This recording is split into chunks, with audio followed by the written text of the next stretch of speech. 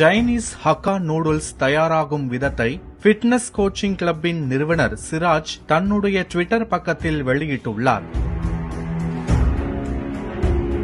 பணியில் ஈடுபடும் ஊழியர்களின் எவர் ஒருவரின் கையிலும் கிளவுஸ் கிடையாது. எல்லாமே வெறும் கையால் செய்யப்படுகிறது. எந்த விதமான சுத்தம் சுகாதாரம் சுத்தமாக இல்லாததையும் அந்த ஃபேக்டரியின் சுற்றுப்புறம் காட்டுகிறது. இந்த வீடியோவை பார்த்த நெட்டிசன்கள் அதிர்ந்து போய் கிடக்கிறார்கள். Thank you.